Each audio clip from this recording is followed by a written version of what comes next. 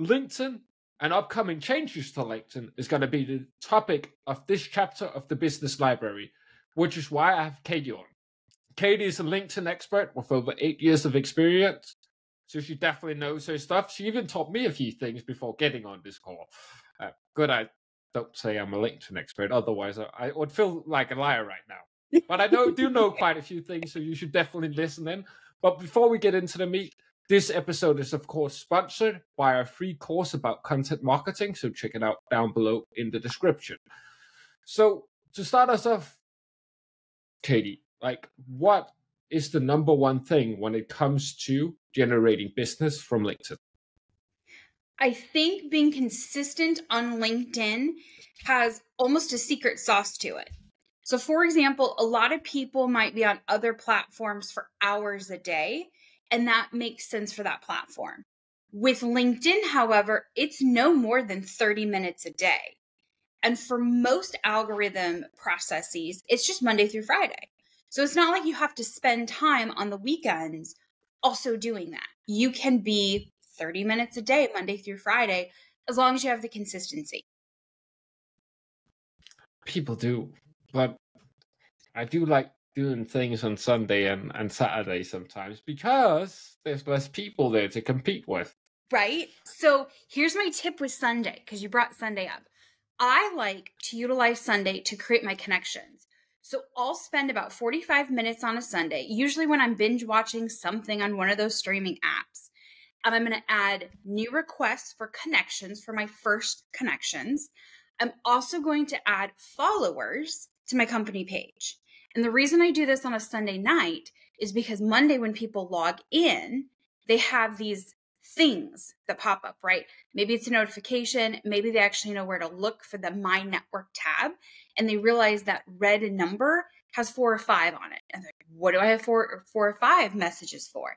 They click in it and they realize, oh, somebody wants to be a new connection of mine, or oh, Katie wants me to like the company page. So go ahead and hit yes or go ahead and hit follow.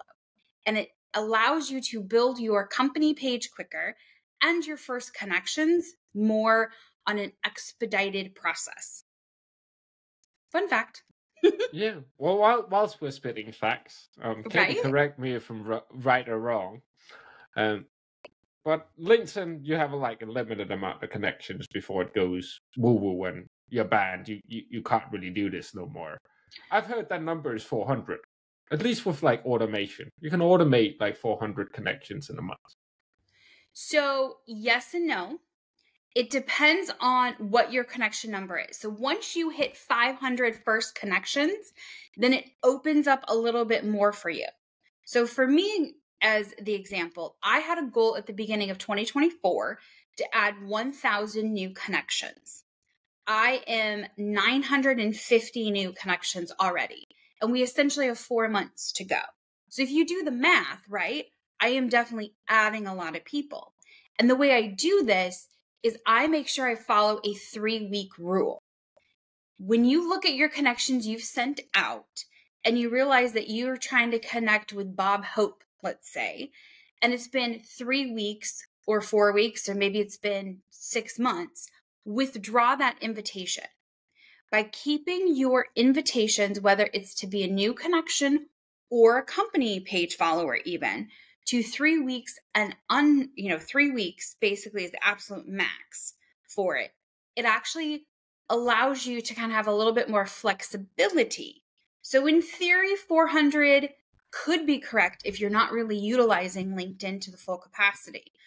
I probably send out close to 600 requests a month and I'm about half of that I'm getting back as yeses. So I am very rapidly, now that I can fully embrace all of the new changes that LinkedIn has been dropping lately, I am able to do that effect- effectively and efficiently, which is obviously helpful. well, now you have kind of hinted at it. Oh, thank you very much for the nice bridge. Makes it a lot easier for me. I don't have to come up with something creative that kind of mixes the things in between. What are the new changes? I know it's something about the internal score. Yes. Kind of related to the SSI score that stands for Social Selling Index. Mm-hmm. That's the score LinkedIn have for people. Just so to for clarification.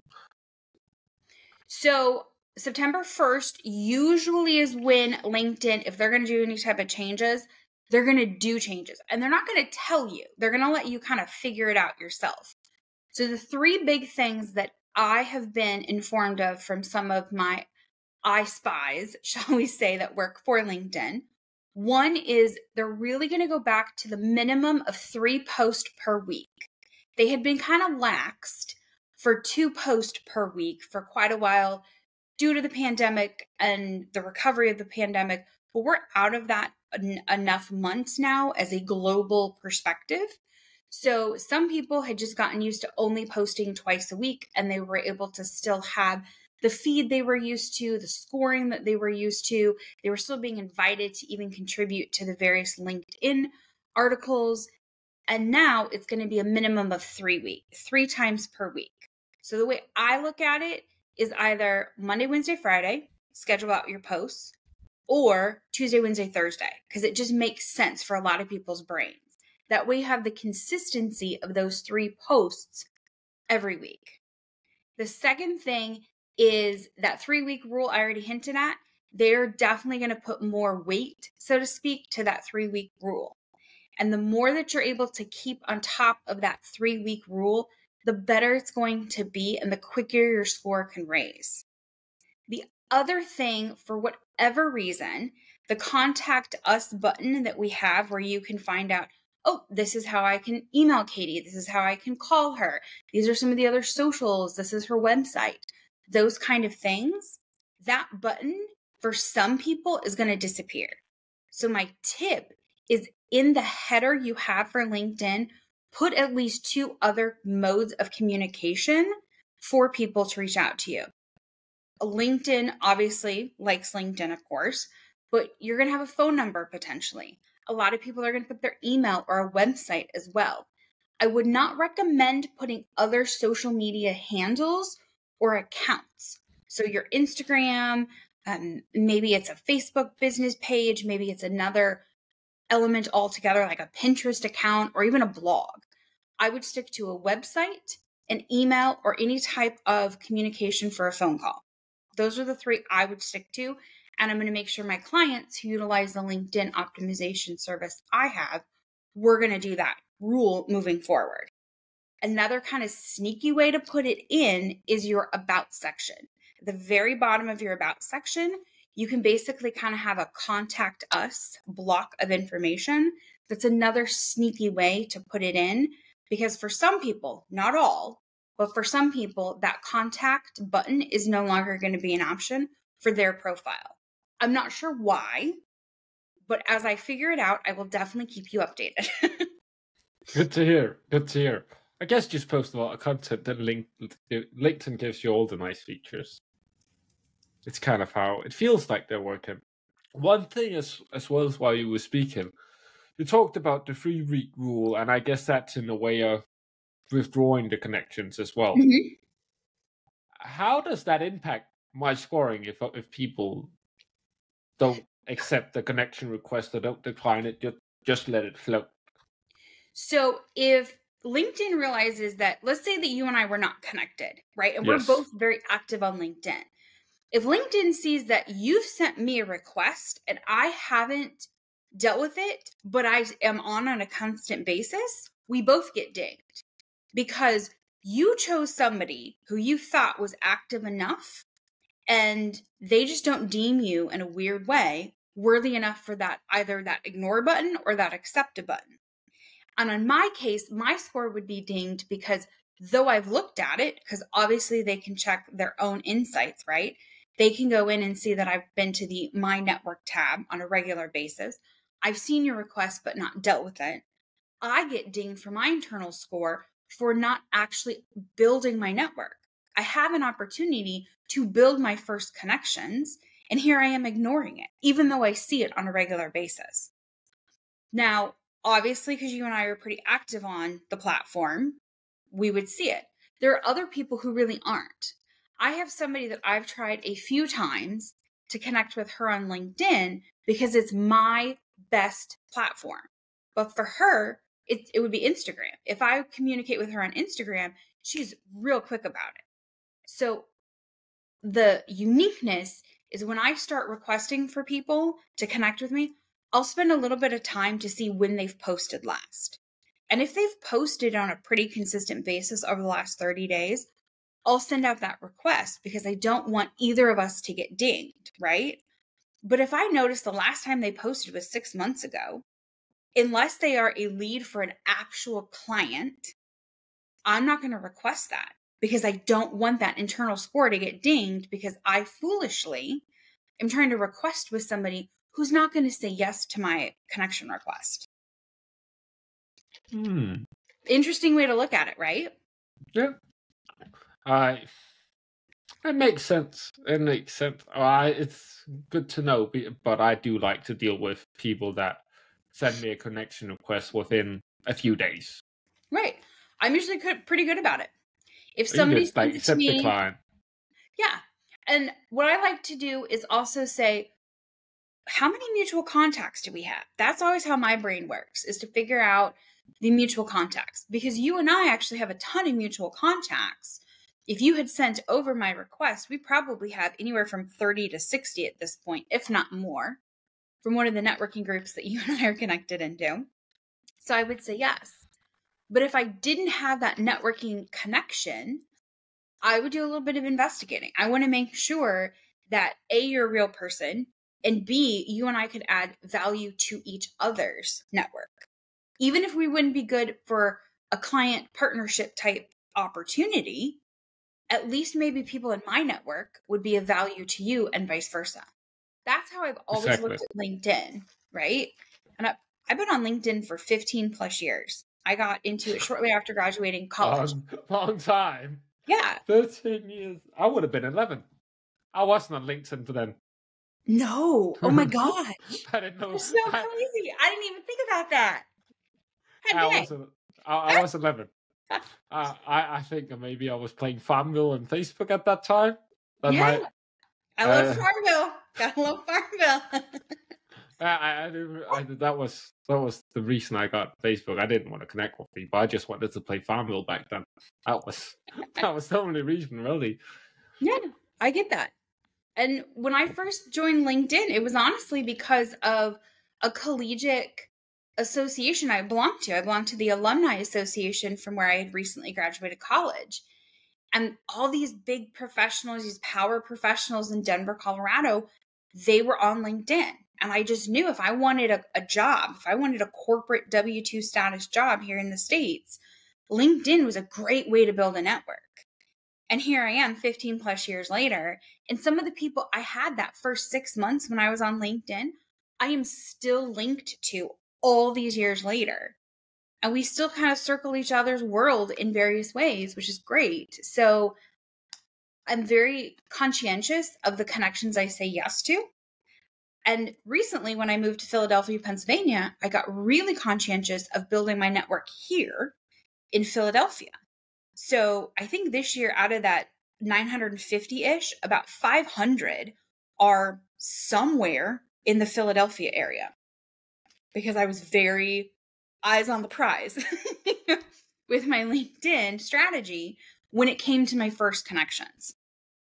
A good tip to have a higher conversion rate on your connections is whenever you drop a comment, go and check people that liked it.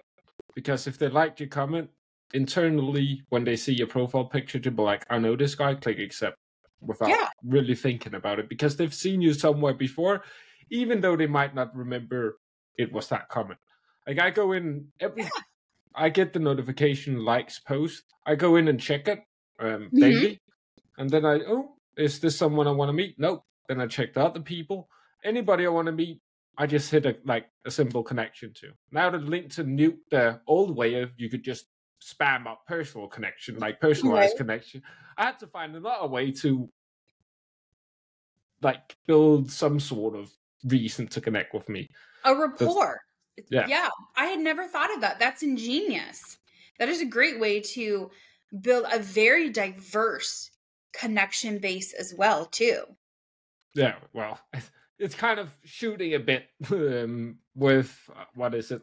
birdshot. Uh, it's not the right saying, but that that's what it actually is. But it's, yep, that's the right right Okay, saying. But Perfect. whilst we're in in talking techie stuff, I Mhm. know that SEO is also a part of what's important on LinkedIn, getting found, Yes. actually getting found in search. So, how does LinkedIn SEO actually work? I think there's a couple layers to that. And because most of my clients and most of my interaction as a business owner is from the business sense, not necessarily the employee sense, what I can tell you is from a business owner standpoint, having two things work positively in your favor. Having a company page that you're able to post company based information on, then share it to your main profile, much like you would do with Facebook that has a clout of expertise with on the platform of LinkedIn. It also provides that SEO aspect because you are posting as your business page or sorry, your company page to your company page, and then you're sharing it to your main profile. So there's almost like a double dipping of the SEO. And I will say, when LinkedIn gives you an opportunity to participate in those LinkedIn articles as a contributor, jump at that. Always say yes. Because that again makes you a top voice. They literally now have badges that they dropped last year. And the more that you contribute to articles, the higher of an opportunity you get to have that little top voice as part of your profile, which looks fantastic. So as people are Googling your business anyhow, and your LinkedIn profile pops up, they click on it. And now when it pops up, it has top voice in social selling, in human resources, top voice in content strategy, top voice in business strategy. Whatever your particular niches can be, let them be that. I, for example, had somebody who his overall information is going to be human resources here in the US. And then he has all the funneling, and his expertise is salary negotiation. And he is a rock star at this. Here in the US, I think is one of like five voices that LinkedIn really likes to use. But ironically, down in Brazil, there's a group of about 15 people who, for salary negotiations in Brazil, they are the top voices. And it's very fascinating to me because the different types of salary for here in the US versus down in Brazil, it's so different. But the overall thing of being honest in that process is what my client was really known for. And if he was not able to contribute the way he has for his SEO, nobody would have known. And now that I've gone in and done more optimizing for his particular profiles, both the company pages and his main, I'm hoping his top voice will change a little bit and he'll be able to have a diversification within human resources at a couple other variants, which will be fun. Regarding top voices, I'm actually going to drop the link below for everybody so they can see all of the subjects. There's like Yeah. a main, main page. Um, you can also just go in and search. Like I'm content Yeah. marketing top voice. Like you can go and search content marketing, then you get the Mhm. subject, and then you can just answer. If you Yeah. don't like the stuff LinkedIn gives you in the top, because I do content, but LinkedIn wants me to answer sales questions. Right. I've never been asked. It's direct sales, sales this, sales this, uh, sales this. It's a long time since I made a sales post. Like LinkedIn Well- lives living in, in 2023 last year. So for me, one of the things that I like to do is I like to have more of those niche within a niche things. So I have another client who is in career coaching. So when I go in as her and I answer these questions as her to increase the process, what I really like to do is the the elements that I know are more finite, where they're not going to be as popular, because it's going to be easier for you to gain a top voice badge for those niche within a niche. So that's Yeah, another sales big, is sales is difficult if you just do sales overall. And Oh, that's also why I have content marketing. That's actually quite an easy one. It's one of the easier ones. I I haven't tried too many of the ones, but it wasn't too hard. Yeah. From what I, I, I don't know how I went from three percent to two percent without giving an answer for two for two weeks. So I was to say People the one apparently don't don't do anything. Well, I think it's also about a, a 30 day process, from what I understand. So if you answer a bunch of things this week, by the time they go through the process on LinkedIn's end, if you're going to get a top voice badge, it's going to be about 30 days down the road potentially for what you did this week. So it takes a bit of time to get those voice badges, but if you can again, consistency is queen, right? If you can get the consistency of spending maybe an additional 45 minutes a week answering those questions and contributing to the articles, you can have a variety of different top voices and you get to choose which top voice you want. So one week you could have content creation, one week you could have sales, one week you could have another type of strategy. You could diversify your top voice badges and essentially just every week change them up.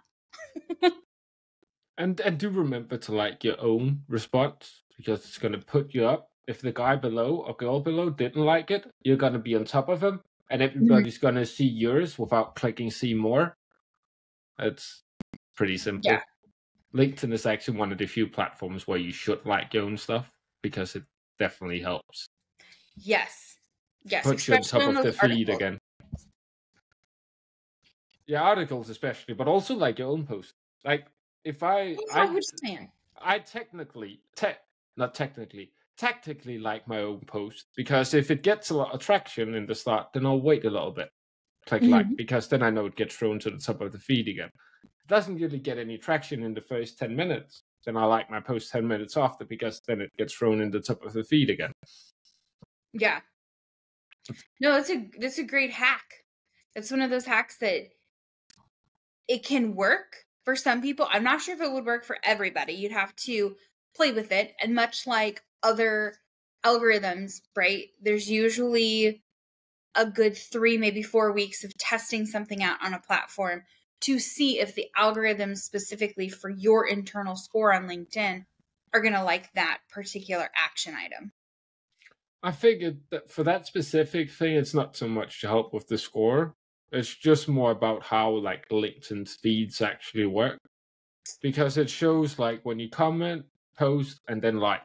Like that's the three things that forces seeing the top of the feed.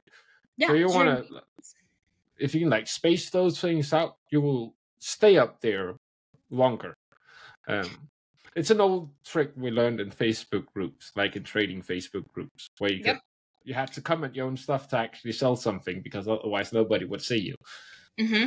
Just So what I like For- to do, because I mentioned that 30 minute window a day, what I like to do for my 30 minutes is I kind of divide it into three categories. I've got my cleanup category, which is where I go in and I clean things up. That's when I'm going to double check any requests that somebody sent to me to connect or follow their page to um, newsletters to subscribe to, right? I'm going to do the My Network tab.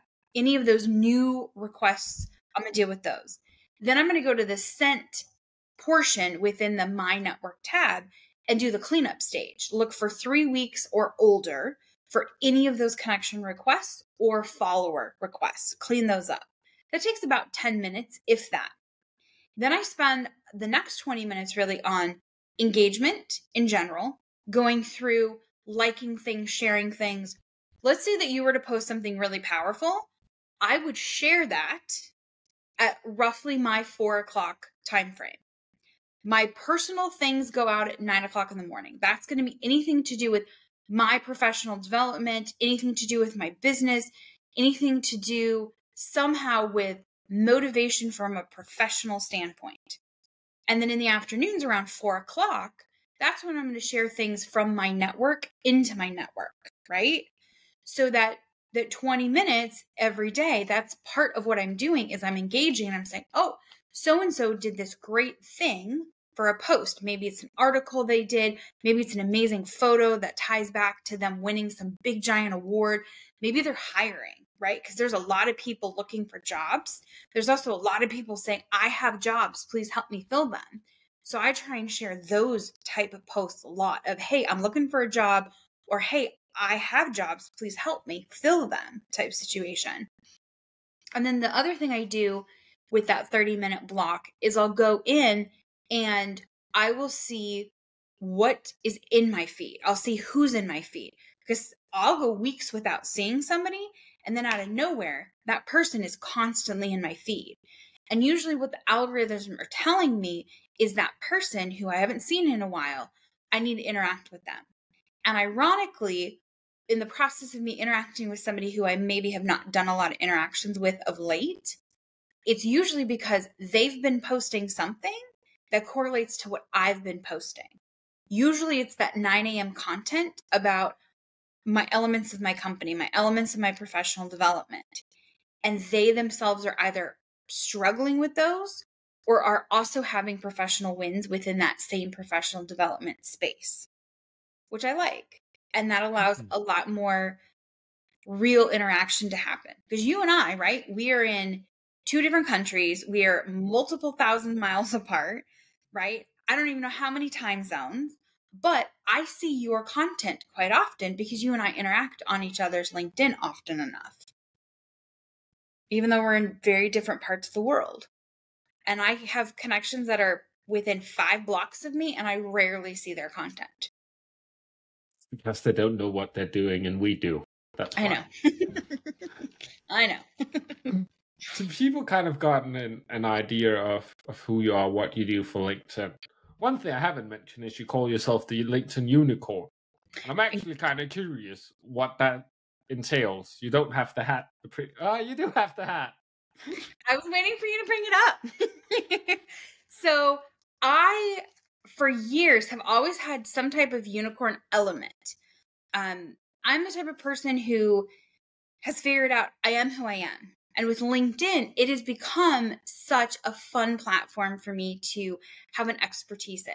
There are tips and tricks that I know like the back of my hand that just seem to wow and amaze people.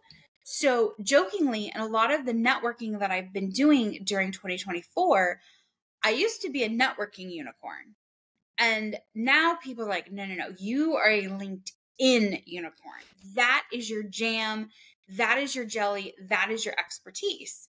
So, I do have multiple unicorn horns that people have sent me that I have collected myself. This one was gifted to me from a friend who owns a nonprofit. Her daughter found it in Walmart here in the hmm. States. and I was like, Miss Katie needs that. That's going to be her unicorn horn. She likes pink and it's sparkly. So for like five it is, it is. She's I right. Got, I got one, right? And I like the fact that it's a it's a unicorn because there's elements of LinkedIn I get that most people don't. And what I really like about how I do my LinkedIn optimization process is at the end of it, I give you a blueprint on essentially how you can have your own unicorn moment, per se, within LinkedIn.